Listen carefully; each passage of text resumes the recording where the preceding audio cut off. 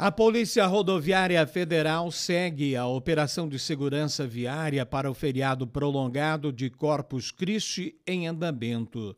A ação tem como objetivo principal garantir a segurança dos motoristas que trafegam pelas estradas do estado do Paraná, além de reduzir o número de acidentes e vítimas fatais nas rodovias durante este período. Com previsão de término à meia-noite de domingo, a operação contará com um efetivo reforçado da PRF, que atuará em pontos estratégicos das principais rodovias paranaenses e também nos trechos do sudoeste do Paraná.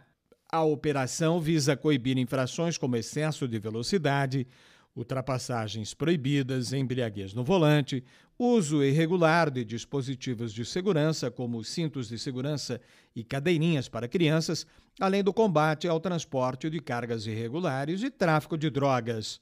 O trabalho de fiscalização será realizado através das abordagens de veículos, testes de alcoolemia e monitoramento através de radares e câmaras.